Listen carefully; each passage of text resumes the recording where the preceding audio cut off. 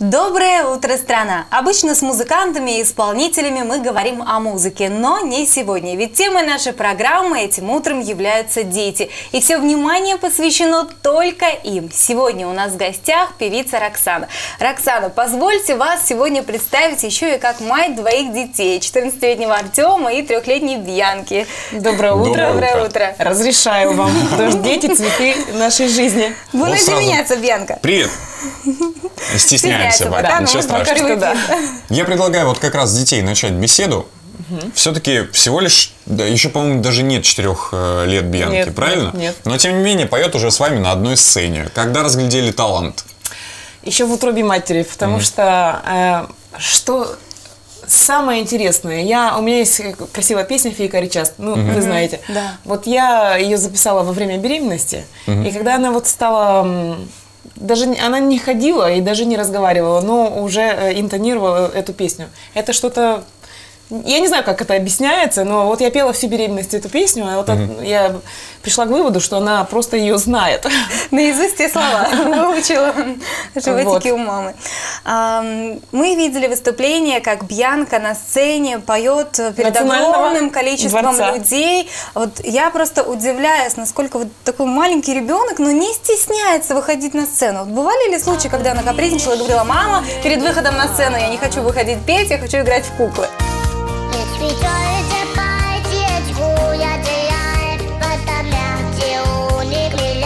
Знаете, я просто боялась, что так будет.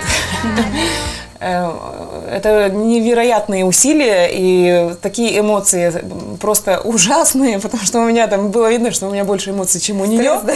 У меня был такой стресс, я была вся мокрая, и у меня дрожали руки, потому что я э, просто подумала, что, ну, конечно, мысли разные приходят в голову, да, что вот я сейчас выйду, там переполненный а, национальный дворец, плюс Да. прямой эфир, она просто развернется и уйдет. Не хочу, да? Представляете, вот у меня, я даже не спала в ту ночь, но она, она меня не подвела, она такая умничка, она даже сделала больше, чем я от нее ожидала просто. Все были в восторге, все были в шоке, я, я хотела ее съесть в этот момент.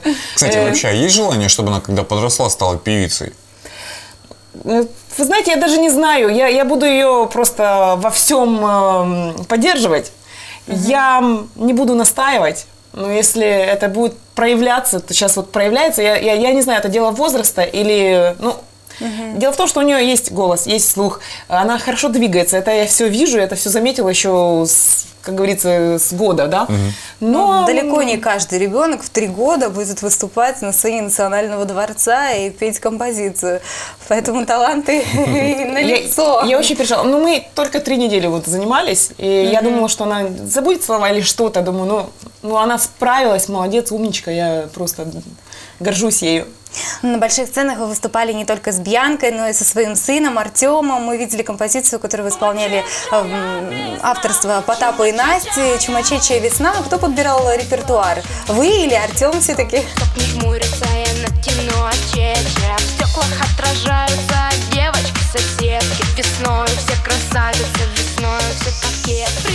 У нас есть такой друг, Александр Кожухарь. Это нам во всем помогает, и он э, переделывает вот эти тексты, даже моих песен. И в этом случае тоже вот он нам помог, он сделал, ну, э, как, мы думали, как выйти из этой си- ситуации, мы же не можем перепеть вот то, что как там оригинал, это будет не очень интересно, в принципе. И Саша нам предложил, давайте я вам сочиню текст.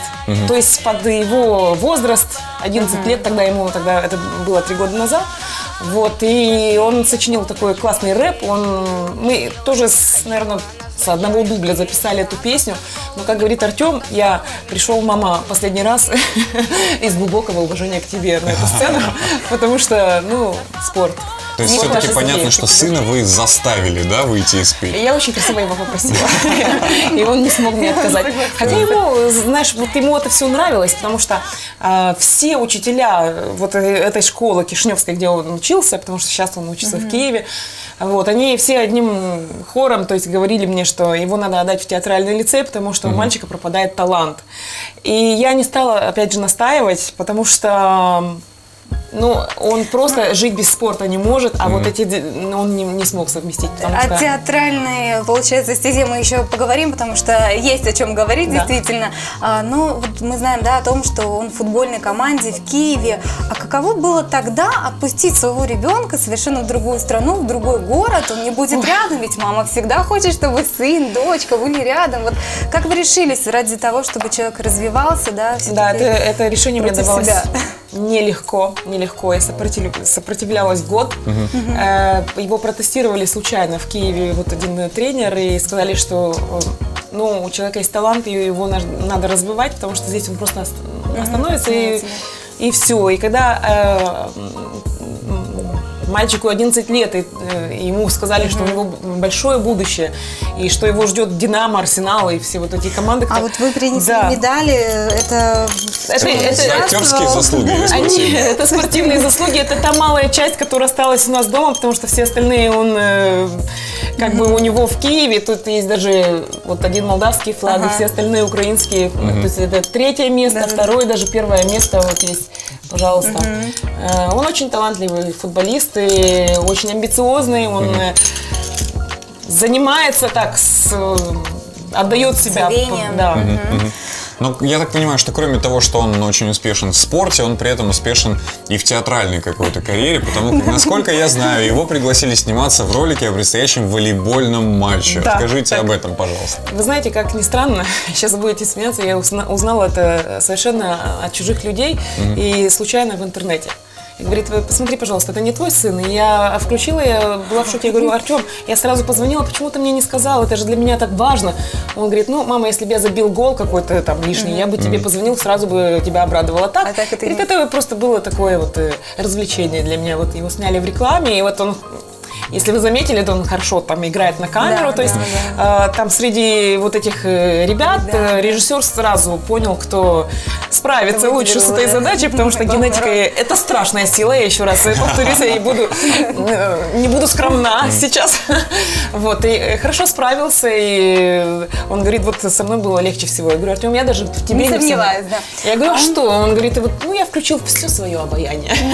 А он во всем такой самостоятельный, ведь он, получается, не советовался с вами а, участвовать, принимать участие в этом ролике или не принимать. Вот в этом он не советовался, представляете? А Вот в я остальных моментах советуется? Да, в остальных он советуется, когда вот, э, допустим, э, его пригласили в другую команду, но мы с ним, слава богу, есть скайп, есть вот, э, живем в 21 веке, и я могу с ним общаться и видеть его все, потому что я вот так вот физически вижу его только на каникулах очень редко, и это, вот вы меня спросили, меня многие спрашивают, почему, как ты его отпустила?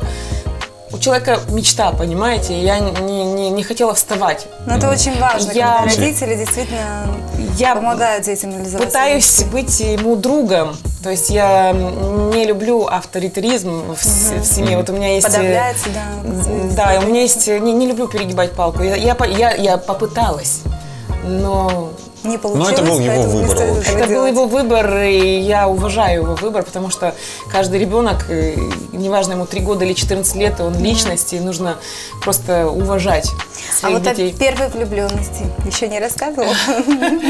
Ну вот он как-то стесняется. Вы знаете, вот э, переходный возраст, и это вдвойне тяжело, потому что он не рядом со мной, и это очень тяжело, когда я его не вижу в глаза, это телефон, это все понятно, но э, психологические трюки, которые я раньше их использовала, они уже больше не работают, потому что дети сейчас очень развитые, очень умные, и э, если раньше я могла задать один вопрос для того, чтобы получить ответ на другой все вопрос, который да. меня интересует, теперь это не работает. Ну, есть свои сложности в том, что, конечно, расстояние, и мы не видимся, но ради того, ради его мечты я пошла на это. Ну вот понятно, о психологических трюках мы уже услышали, но какие методы воспитания используете, какие наоборот не приемлете? Я не приемлю физическое насилие, это понятно. Это не- я никогда не буду поднимать руку на своих детей. Э, Я пробовала, конечно, многие есть, были э, ходы, э, вот, допустим, э, за каждую десятку там деньги. И это пробовалось. У нас много чего было, потому что это мальчик, это и он Должен привыкать к финансам. ну, он, он, кстати, очень хорошо зарабатывал э, деньги, когда был здесь. Там собирал вишню в огороде у бабушки, абрикосы, все остальное сдавал. И даже, Будущий э, бизнесмен. даже ловил рыбу там в Днестре и продавал соседям. Ну, это мы все через это прошли. А, Конечно, самое такое, что может быть, это там наказание, там э, нет компьютера, нету там кино, нету там э, Макдональдса и все остальное, то, что А за что могли наказать? за что? За двойки, за математику, за химию. И когда он шел вот на, на опять, на- опять же, на не экзамен, а на как Сдачи какие-то, не знаю. Контроль. контрольные, да. И я говорю, Артем, ну Ой, ну у тебя же, ты же не, не учил, как ты сдашь это все. Ну, мама, в крайнем случае включу свое обаяние. Научился уже. Ну, А Бьянку часто балуете? Бианка у нас, э, она моя подруга. Познакомьтесь. Эм, Конечно, она маленькая девочка. Почему не, не избаловать? Я люблю. Э, Опять же, если мы говорим о воспитании и о каких-то э, наказать, не Методах, наказать, о методах, да. все в меру, все должно быть в меру. И нам всем хочется, чтобы наши дети были бизнесменами, э, президентами и все такое, но э, нужно просто трезво оценить э, возможности своего ребенка, дабы не навредить. Потому что ты можешь там 10 лет ему э, вбить в голову, что он... э, Одно? Да. не знаю, там, очень. а, а потом, когда он столкнется с реальностью, это будет очень сложно. То есть вот я за это. А есть ли вот какие-то качества в человека, которые вам не нравятся, и вот вы как бы категорически не, хо- не хотите, чтобы в ваших детях они присутствовали? Ну, например, жадность или какое-то другое качество? Ну, жадность это вообще... Ненавижу жадных людей. Э, Не люблю неискренность. Я всегда вот... э, а, Бианка еще маленькая, но в Артеме я старалась вот развить эту вещь, чтобы он не врал. Потому что это страшно. Если э, человек привыкает, а потом да. он не может остановиться. Вот это ложь, это... А, Я думаю, что надо попросить завершение нашей беседы. Спеть гостю. Да, спеть композицию. А вы знаете, Бианка еще не умеет говорить на русском языке, но она с удовольствием споет на русском языке. Если, конечно. Если не застесняется. Если мы попросим. Бианка. Кункынтик. Пентруной. Пошли, пошли, стесняшки. О, боги, какой мути нам. Я хочу от тебя Тина. И я хочу от тебя дочку. И дочка. И дочка. Наши аплодисменты Бьянке, браво. Это трогательно. Ну, будем надеяться, что Стесняется. талант певицы в ней будет развиваться, и действительно через какое-то количество лет увидим, как она будет сиять во всей своей красе. Бьянка, спасибо, ну смескнул. Молцемеск. Браво. Ну и вообще, хотим сказать вам огромное спасибо за то, что этим утром пришли к нам в студию, за то, что пообщались с нами на такую семье, интересную тему. детках. Нам очень приятно, очень интересно. Да. Спасибо огромное, всегда с радостью на РТР. Ну что ж, дорогие друзья, далее вас ожидает продолжение общения со звездами на тему, конечно же, детей, рубрика «Звезды в объективе», на тему идеального возраста, в котором лучше всего женщине стать матерью. Поговорим с представительницей Молдовы на конкурсе Евровидения 2014 Кристиной Скарлат и писательницей Ариной Сато. Приятного просмотра!